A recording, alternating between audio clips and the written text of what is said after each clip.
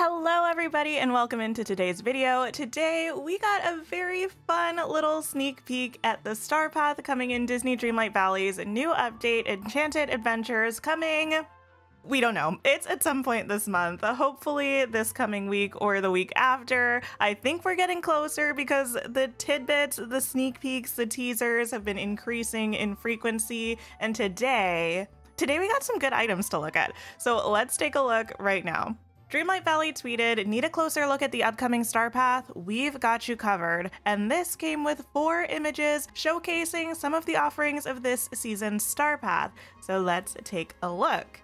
First, we have Stitch in a cute little costume. I love this so much. We can't even see the front of it, but it already looks adorable. On stream recently, we were just speculating about who was going to get a dream style in the star path, and now we know at least Stitch at the very least, and it looks like a little monster stitched together cute costume with a candy backpack, and it's just the cutest thing that I think I've ever seen. And like with all of the other dream styles we've gotten so far, I doubt I will be removing Stitch from this for the foreseeable future, maybe forever. So, very much looking forward to that. The second picture we see is the fountain from Nightmare Before Christmas. Now, this one was shown in the key art for the update, so we have seen this image before. It's nothing new, but this one's a little bit of a closer look at that item, and it looks really good. It looks nice and detailed, definitely spooky Halloween vibes, which is always a very fun style to kind of lean into. So far, I haven't done anything super spooky in my Forgotten Lands, but with some of these items, I feel like it's calling my name now. I might need to make a little section of the Forgotten Lands into a spooky Halloween sort of themed vibe. Then moving on, we have a picture of this organ.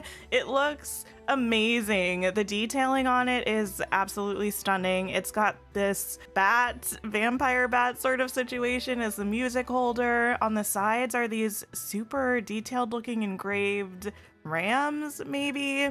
I'm not sure if this item is specifically from a movie. I don't recognize it, or if it's just an item sort of going off of the theme of the Star Path being more of a spooky Halloween sort of vibe. So let me know in the comments below if you recognize this item because I think it's really interesting and I, I can't put my finger on it whether I've seen it or not. And then finally, in the last image, we have we see some pirate themed items on the key art for Enchanted Adventures, we did see a sort of pirate themed parrot on the bottom right that a lot of people have been speculating is going to be the companion that comes in the star path.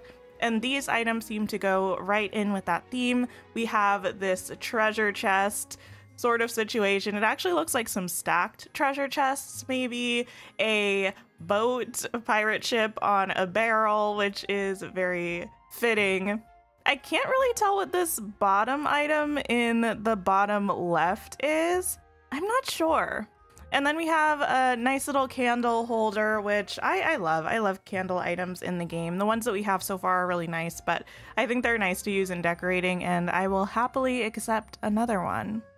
So with this sneak peek at some of the Star Path items, I am more excited than ever about the Enchanted Adventures update in Disney Dreamlight Valley hopefully tomorrow or the next day, we might be getting more information like an update date.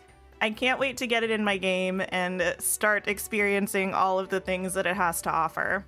Let me know what you're most looking forward to in the update in the comments down below. Please remember to give this video a like and subscribe if you enjoyed it. As always, thank you to our channel members. You are all absolutely wonderful. Thank you for being a, an amazing community. And a very special thank you to our Gilded Lily tier channel members, Prib and Kitty. The additional support, as always, means the world to me, and I cannot thank you enough. Stay tuned for more news on Disney Dreamlight Valley as it starts to roll in. Until next time, take care of yourselves, and I will see you really soon.